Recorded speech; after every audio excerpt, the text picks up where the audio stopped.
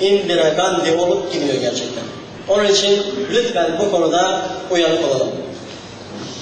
Seminerimizin yavaş yavaş sonuna geliyoruz. Aslında konuşulacak çok şey var ama ben inanıyorum ki durağan insanı hiç de durağan değil. Bu salonun doluluğundan belli zaten. Böyle de olmasın zaten. Hiçbir zaman yani olmasın derken dolu olsun aramızda. Sizlere Can Yücel'in son bir şiirini okuyarak ufak veda edeceğim ama ondan önce bir iki konuda bir iki kelam etmek isterim o da şu. Hayatta beş es çok önemli. Ne? Sevgi, saygı, sadakat, sorumluluk ve sabır. Ben size bunlardan birazcık sevgiden bahsetmek isterim. Aslında biz bugün varlık sebebimiz olarak sevgiye muhtacız. Değerli Müftü Bey bileceklerdir. Habibim seni yaratmasaydım alemleri yaratmazdı buyurmuş. Sevgi, Habib seven. Ama biz bazen bunu galiba gözden kaçırıyoruz ya. Hepimiz bir koşturmacadır, bir aldatmacadır, bir kandırmacadır.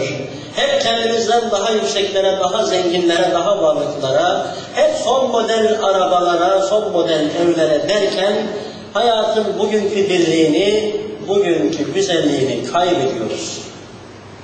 Geçen geçmiştir, anı mustakbelse müphemdir.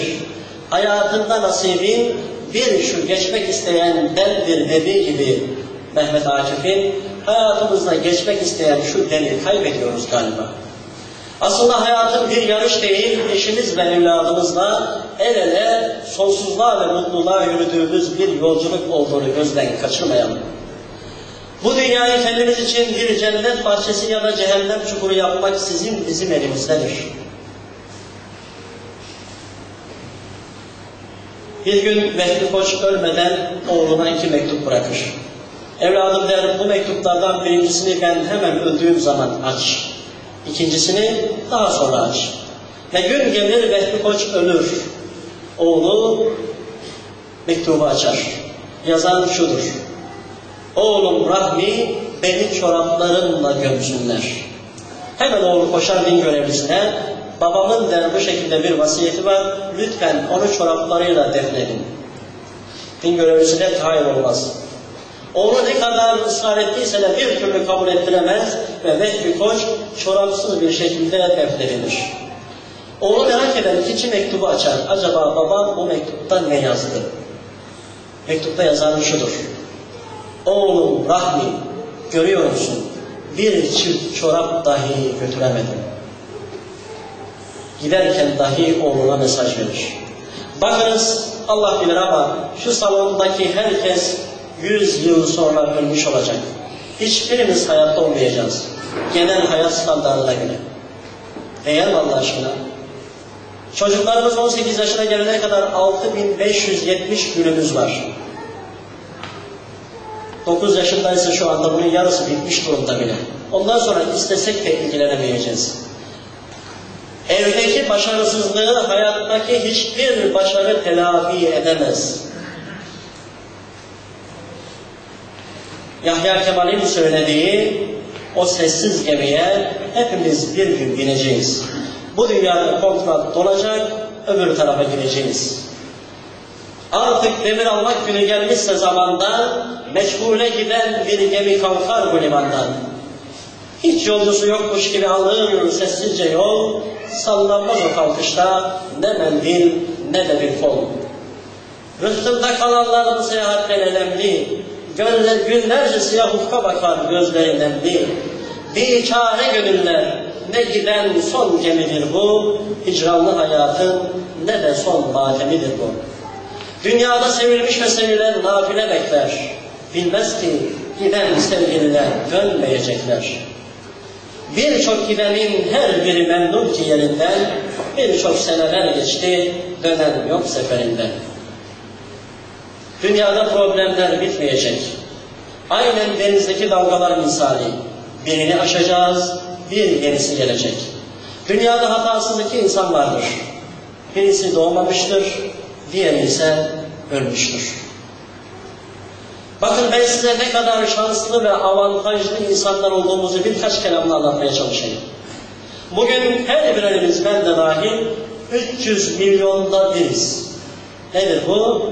300 milyon spermden birine ruh verilir, o insan olarak yeryüzünde hayat bulur. Ve yine hepimiz Türkiye gibi cennet bir vatanda yaşamıyor olabilirdik bugün. Afrika'da, Afganistan'da, Pakistan'da, Filistin'de, kutuplarda yaşıyor. 6 ay boyunca sadece patates haşlaması yiyor olabilirdik.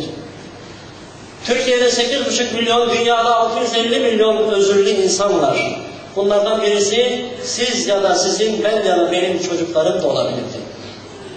Bugün dünyada 2,5 milyar insan henüz cep telefonuyla tanışmadı. Yine dünyada bugün 2 milyar insan elektrikle henüz tanışmadı. Bugün 500 milyon insanın yaşadığı ülkelerde şu an savaş devam ediyor. Eğer cebinizde 10 liranız varsa sadece 10 liranız dünyada en zengin yüzde onluk bir kitleye giriyorsunuz. Yüzde ona giriyorsunuz dünyada. Sadece 10 liranız varsa cebinizde.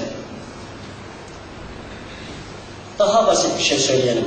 Ya sadece sağ elinizin baş parmağı olmasa kalemi kağıdı tutamıyorsunuz. Acizsiniz, bitkiniz. Sağ gözünüzü, sol kaşınızı, burnunuzu kaça satarsınız? Çocuğunuzu kaç trilyona verirsiniz? Aslında ne büyük nimetlerimiz var.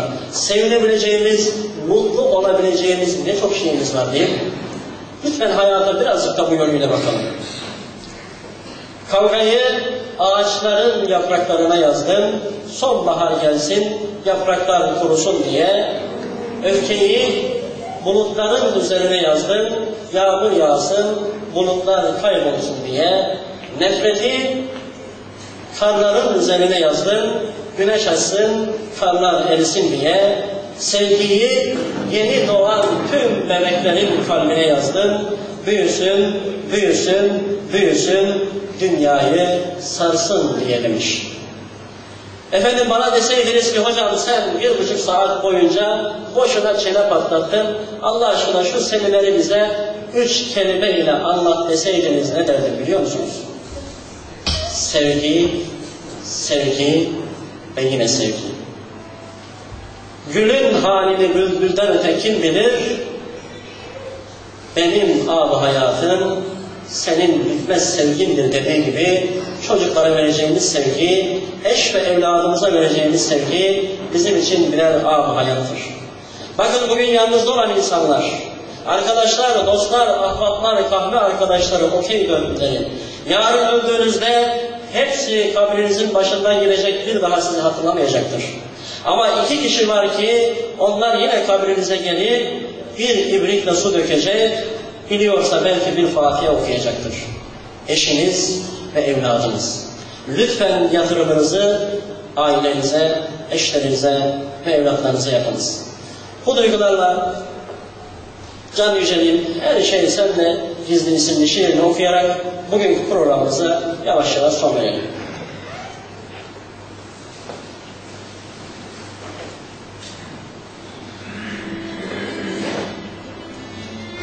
Yerin seni çektiği kadar alırsın. Kanatların çırpındığı kadar hafif. Kalbinin attığı kadar canlısın. Gözlerimin uzağı görebildiği kadar genç. Sevdiklerin kadar iyisin, nefret ettiklerin kadar kötü. Ne renk olursa olsun kaşın, gözün, karşındakinin gördüğüdür rengin. Yaşadıklarını kâr sayma. Yaşadığın kadar yakınsın sonuna. Ne kadar yaşarsan yaşa. Sevdiğin kadardır ömrün. Gülebildiğin kadar mutlusun. Üzülme.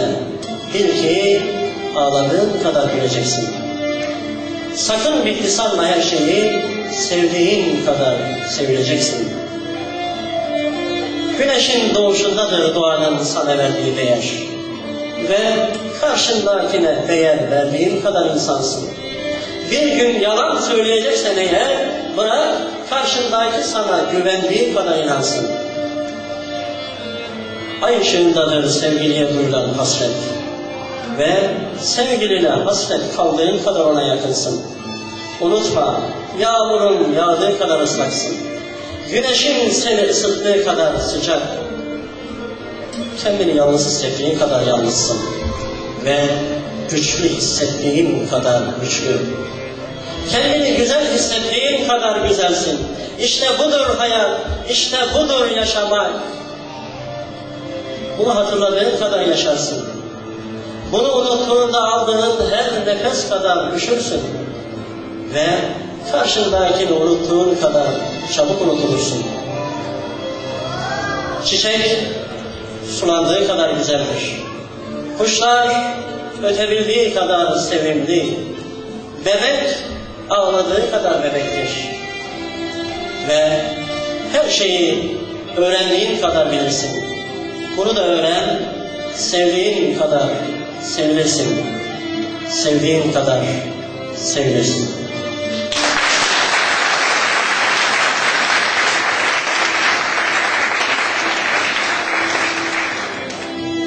Efendim teşekkür ederim. Elleriniz dert görmesin.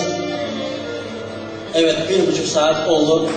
Ben bugün 10 Nisan günü Dura ilçesinde bulunmaktan, sizinle aynı çatı altında olmaktan, aynı havayı teneffüs ediyor olmaktan, kabul ederseniz yüz yüze bakıyor, gönül gönüle akıyor olmaktan oldukça mutlu oldum, oldukça keyif aldım.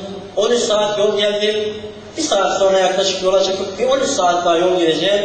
İnanın bir 13 daha olsa yine gelirim, yine giderim. Zaten bakışlarınızla, dinleyişlerinizle, o güzel nezaketinizle bana fazlasıyla teşekkür ettiniz.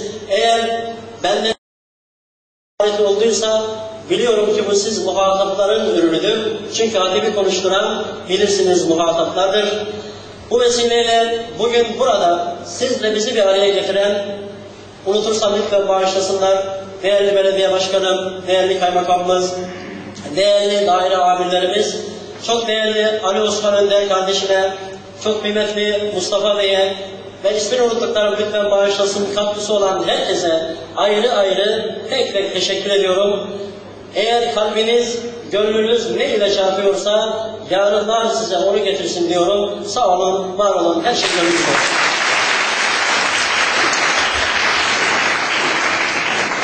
Evet, kendisine çok teşekkür ediyoruz. Ee, bir saniye salondan ayrılmayalım. Ee, kendisine bizim bir takdimimiz olacak. Sayın Muhsin Erdem, bizim Durağan ve Durakhan gazetesinin imtiyaz sahibi Sayın Muhsin Erdem Bey'i buraya Sayın Ahmet Kocacan'a plaketini vermek üzere kendilerini buraya davet ediyorum. Buyurun efendim.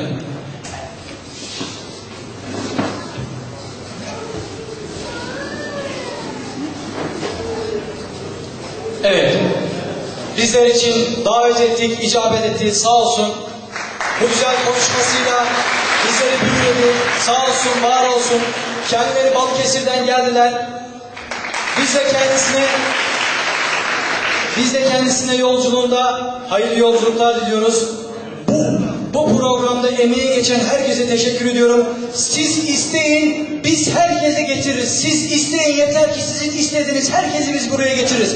Biz buna varız. Siz yeter ki bize destek verin. Sağ olun, var olun. Ayrıca yazarımız Ahmet Bey kitabını imzalayacak. Ee, bir katkımız olursa kendisine e, teşekkür etmiş oluyoruz. Sağ olun efendim.